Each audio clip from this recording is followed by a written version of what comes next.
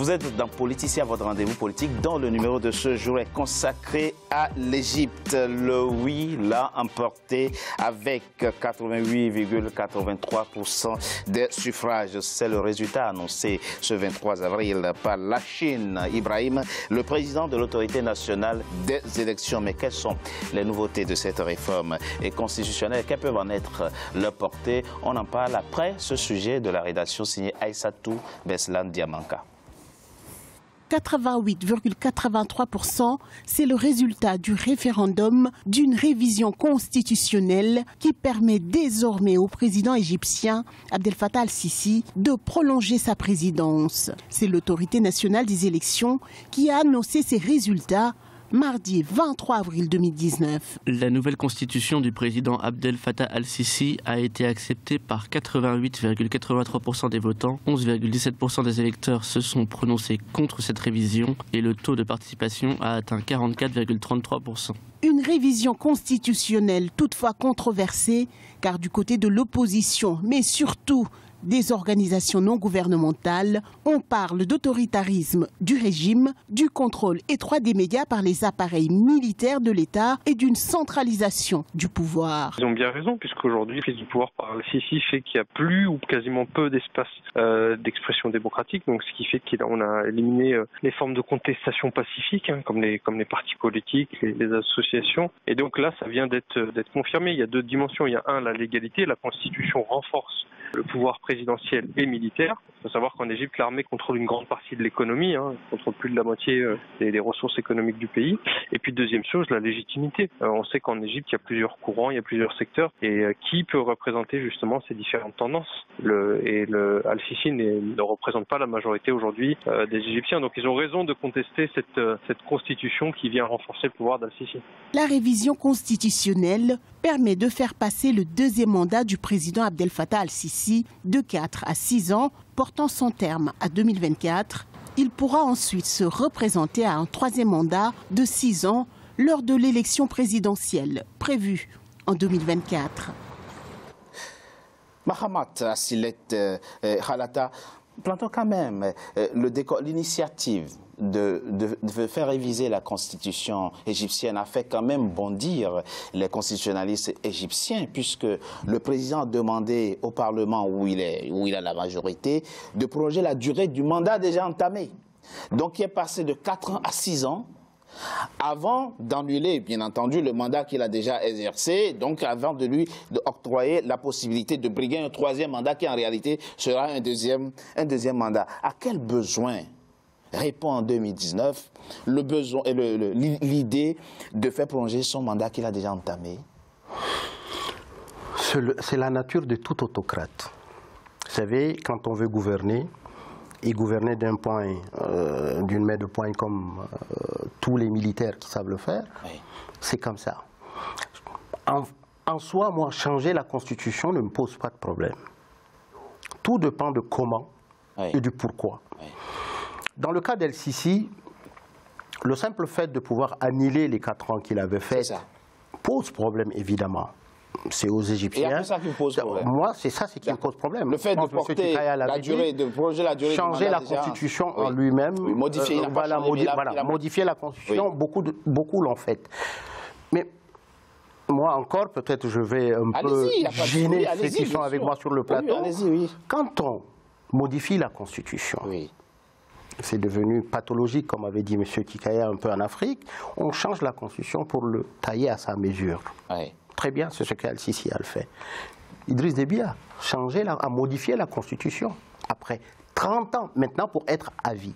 Moi, je veux simplement revenir sur les réalisations. Mm. Al-Sisi modifie la Constitution, oui. je vois, ok, il a modifié la Constitution, il a essayé de le calfeutrer, de le maquiller avec l'élection, référendum, très bien. Oui. Mais à côté, qu'est-ce qu'il fait pour les Égyptiens Pourquoi vous ne nuancez pas un peu? C'est important que vous l'expliquiez, que vous le nuanciez. Ça veut dire quoi? Parce que ce qu'on retient de ce que vous dites, euh, parce que, excusez-moi, moi je ramène, que je ramène, aussi longtemps que vous avez de bonnes performances, je ramène, vous pouvez indéfiniment. Non, mais excusez-moi, je ramène ça terre à terre à oui. une radio rurale qu'on avait faite à un moment. Oui. S'il vous plaît, vous allez demander à quelqu'un, à un Africain, oui.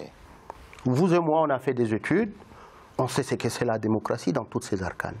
À cet Africain qui est dans le monde rural, demandez-lui ce que c'est la démocratie. Demandez-lui modifier la Constitution, c'est quoi Et bien, je vais vous dire la réponse. Tu dis, cette démocratie-là, ça va me donner à manger. Et ça va me soigner Et là, il adhère. Mais quand vous une parlez idée, de c'est théorie, une idée, c'est ça une- ne va pas. une- une analyse, On peut être une- ici, une excusez-moi, idée. on peut être ici et dire qu'on n'est pas d'accord. On n'est pas tous d'accord avec les autocrates, sous leurs diverses formes. Hmm. Mais simplement, quand un dictateur Sécurise son pays. non, sécurise son pays, développe son pays. Oui. Regardons les indices de développement de l'Égypte. Regardons ils sont- ils sont que- que- comment le les Égyptiens y sont. Et après, attaquons-nous à l'essentiel. Mais ne prenons pas tout et le balancer dans la poubelle. Al-Sisi, Al-Sisi, matin, midi, soir. Moi, je ne sais pas si ça peut nous avancer. Très rapidement, euh, M- Chikaya, on va dire quoi aujourd'hui? Que euh, euh, la révolution égyptienne est devenue orpheline d'une certaine manière parce qu'il n'y a pas eu de voix qui ait pu véritablement porter les aspirations des Égyptiens quand, et qui se rassemblaient euh, en 2015 pla- place Ta- Ta- Tahrir.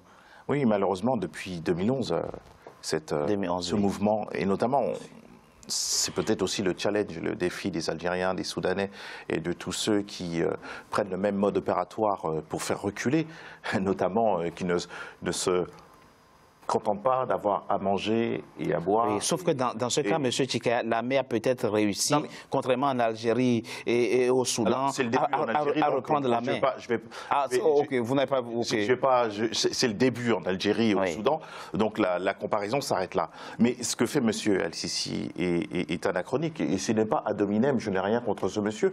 Je regarde les faits, je regarde les textes, je regarde la vie Oui. et les indices de la vie quotidienne. Est-ce que la vie des Mais ce qui a pu, Il y il y a une crise, économique. C'est-à-dire que si à chaque fois euh, que on, on- on vante euh, le mérite des peuples depuis des décennies, avant même que nous naissions, que ce soit euh, euh, via M. Niobé, via M. Lumumba et autres, qui ne se sont pas dit parce qu'on est africain, on va avoir des revendications démocratiques euh, plus réduites.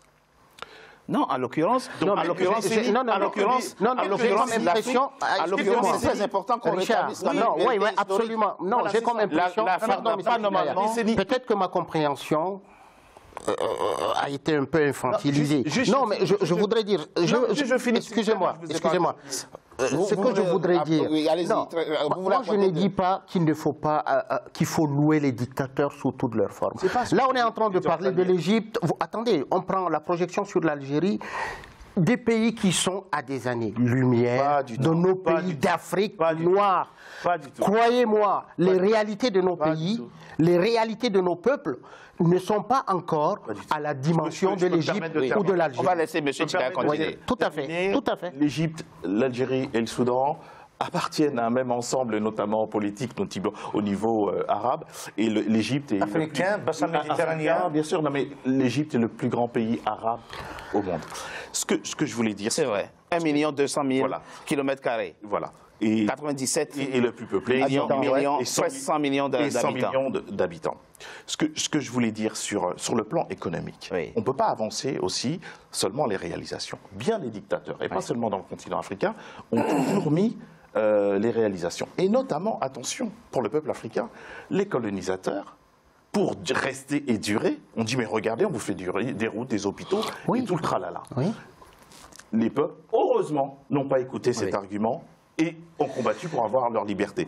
Donc c'est pour dire que la géopolitique et ce qui a été dit sur la place Tahir au niveau de leur quotidien Oui. et notre- de, la, de la nourriture à, la- à ce qu'ils pouvaient la- voir au niveau liquide, Oui. mais au niveau de l'éducation, de l'économie, de leurs soucis géopolitiques. Oui. Ils connaissent, ils ont déjà subi plusieurs conflits venant de Vous pensez qu'on est loin du- l'intérieur. on est loin du compte Il, il est loin du compte. On est loin du- on est- on loin compte. Refait Mais- leurs revendications. Mais, Monsieur vous êtes géopolitologue, mais ce qui vient en appui au propos de, de Halata, C'est qu'en réalité, on l'a dit, on l'a vu dans, le, premier élément qui est passé, c'est une économie sous perfusion, bien entendu, des pays. non, pas véritablement. C'est quand même la troisième économie du continent après l'Afrique du Sud et le Nigeria. mais, mais, passons, est-ce que quand même, oh, il n'est pas euh, clair aujourd'hui que les Occidentaux ont préféré euh, Abdel Fattah al-Sisi à un certain Morsi qui islamisait le, le pays? Al-Sisi qui, lui, aujourd'hui, apporte les gages d'une véritable lutte contre le terrorisme. Alors, c'est encore l'argument euh, qui est parfois euh, ressorti par euh, les Occidentaux, par certains Occidentaux. Attends. Et pas Attends, je vais juste au bout. D'accord. Et notamment par M. El-Sisi, ou ceux qui disent je préfère voter pour cette personne parce que c'est un autoritaire, un totalitaire, donc la stabilité. Mais la seule stabilité, c'est son siège sur lequel il est assis. Là, il est stable. Mais la vie quotidienne, la vie quotidienne d'une bonne partie de ses concitoyens. Mais vous, vous ne trouvez aucune, espèce de, circonstance qui pourrait justifier le durcissement de sa politique Là, on parle d'un pays qui a à sa porte la Libye, complètement déstabilisée. Non, mais l'environnement géopolitique, personne ne l'ignore. D'accord. même des, avancer des chiffres qui, sont, qui pourraient faire peur aux téléspectateurs. Mais justement, Justement, s'il n'y a pas à l'intérieur de votre pays un contrat social fait pour tous et par tous, vous êtes en train malheureusement de nourrir des dissensions souterraines, des, dissidences insidieuses. Quel est le peuple? Et pas parce qu'il est africain, hmm. ils ne vont pas subir et se contenter de cette vie-là pendant des décennies. Monsieur Judy, vous, comment imaginez-vous, pour être satisfait, je rappelle, vous êtes le président de l'ONG Riposte International, où, où est-ce qu'il a fauté? Et où, voyez-vous des manquements à sa politique Précisément, euh, quittons les généralités, parlons concrètement. Non, pas de généralité. Il faut d'abord euh, euh, mettre en relief une chose c'est que depuis 1956, et l'Égypte sous la botte de, l'armée, depuis le coup d'État de Jamal Abdel Nasser. Donc c'est un changement de façade. C'est les militaires qui détiennent le pouvoir et le peuple est exclu. Donc ça, c'est le premier point. Deuxièmement, à défaut d'une légitimité interne, on cherche une légitimité de l'extérieur. Et qu'il a obtenu, finalement. Ah, ben oui, mais parce que à chaque fois, c'est militaire, c'est cette armée égyptienne ou algérienne ou africaine qui, qui, est là pour, pour surveiller, pour, pour, pour, veiller sur les intérêts des, forces coloniales qui sont sorties physiquement. Mais ils sont là. Aujourd'hui en Algérie, c'est la France qui décide. Aujourd'hui en Égypte, c'est pas Sisi, c'est les États-Unis. Et à chaque fois, le peuple essaie de se révolter, on essaie de leur créer un phénomène. Voilà. Donc, euh, une fois, il y a eu le, Hirak ou la, révolte euh, de, de, de Tahrir, et juste après, il y a le phénomène des frères musulmans et le, phénomène du terrorisme. Vous savez, le terrorisme est maîtrisé par l'Occident, par les services de sécurité. pas seulement, mais, mais, pas les Égyptiens aussi. Mais c'est la, même chose. C'est la même chose. Vous, devez, vous devez savoir une chose certaine. C'est que ce, ce, ce, terrorisme qui est maîtrisé, quand c'était Morsi et l'autre, il y a eu tout le temps des attentats, comme si d'un côté on accuse les frères musulmans d'être derrière les attentats, même quand ils sont au pouvoir. C'est de la foutaise, ça. C'est de la foutaise, pensez-vous? Mais bien sûr, parce que si... Je ne vous suis pas là-dessus. Non, je, je, m'explique. C'est une nébuleuse beaucoup plus complexe. Je, m'explique, bien sûr. Euh, moi, je, suis contre les, régimes des frères musulmans. Moi, je suis un laïc et je suis hostile et amorcé et euh, Erdogan et tout ça. Sauf que le coup d'État, il n'est jamais tolérable. On est d'accord. On pouvait y aller vers la fin du mandat. On est d'accord. Je rappelle effectivement que Mohamed Morsi avait été élu, effectivement, de façon démocratique, de façon tout à fait démocratique. On ne peut hein. pas on ne peut pas à chaque fois jouer sur la fibre euh, de, de, de, de, la sécurité hmm. parce que euh, on sait bien qu'une partie du terrorisme en Algérie a été euh, derrière lui. Mais, vous, voyez aujourd'hui, M. Djoudi, vous êtes journaliste, analyste politique, vous voyez aujourd'hui que les Maliens sont en train de critiquer leur gouvernement de ne pas faire assez pour sécuriser leur pays. Ils ne comprennent pas que l'insécurité se soit déplacée du nord vers le centre et aujourd'hui au sud, y compris à Bamako. Absolument. Quand il y a, et de l'autre côté, vous avez. Quand il n'y a pas une légitimité voilà. du pouvoir. Donc, donc le, volet sécuritaire, le volet sécuritaire semble important. C'est donc c'est comme si, comme l'a dit Kabila, comme des sous-préfets nommés par Jacques Chirac ou par le, le, le, la France. C'est une réalité, on ne peut pas. Euh, alors, avançons moi, moi, je, oui, je voudrais, moi, je voudrais avancer, mais je, je, voudrais être toujours terre à terre. Mais non, on a compris. Voilà. On, a, on a compris moi, votre, que, propos. Non, non, c'est que, que je suis contre le fait oui.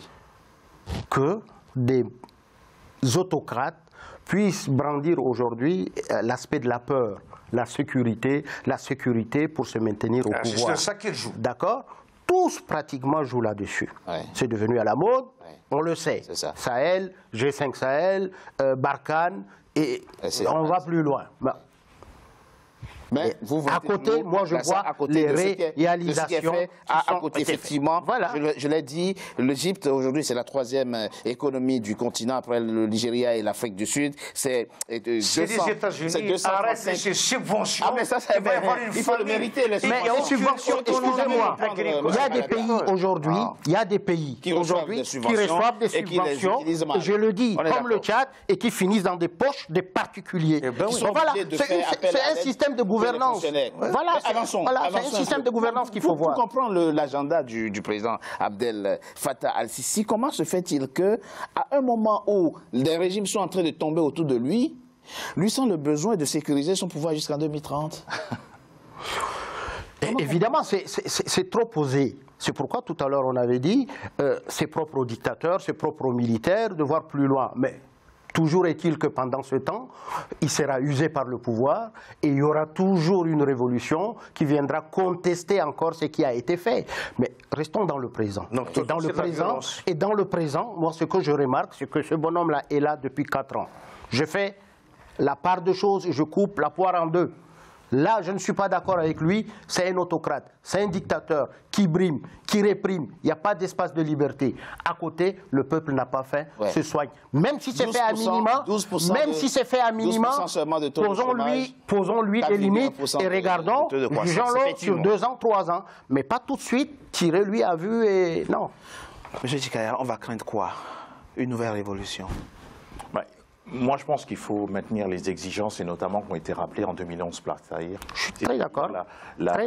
L'émission, la mission première, bien sûr, de tout Mhm. président, c'est la sécurisation et la sûreté de, de son pays. Mais la sécurisation, c'est la sécurisation aussi sociale, économique, l'éducation, la santé, tous les, tout ce qui est régalien. Donc, il n'y a pas d'antinomie entre les réalisations Mhm. Et euh, un régime démocratique, même avec une dureté, avec tout ce qui euh, concerne euh, les extrémistes, les, les- les- et autres. C'est la mission du président. C'est-à-dire qu'il ne faut pas présenter ça comme des choses qui s'opposent. Oui, c'est ça. Voilà, il C'est important ça de le. Non, il y a de- pas de. Mais non, on peut faire l'effort pas- de- de, je de concilier. je n'ai- de- je de- je de je je jamais dit Oui. que ce sont deux, deux, deux, deux, qui, qui, qui s'opposent. Hum, On a bien On, on a tendance à On a- comprendre depuis Vous- un certain vous- moment, vous- on prend le Rwanda. il Excusez-moi, il on prend, on prend, sur, voilà, on prend le- le Rwanda le- comme le- un exemple. Depuis un certain moment, le Rwanda, Kagame, le Rwanda, et pourtant, c'est un pays démocratique. Je propose. On regarde les On- on- réalisations. On, on répond à la question après. on a question. se retrouve dans quelques instants pour la suite de notre émission. À tout de suite.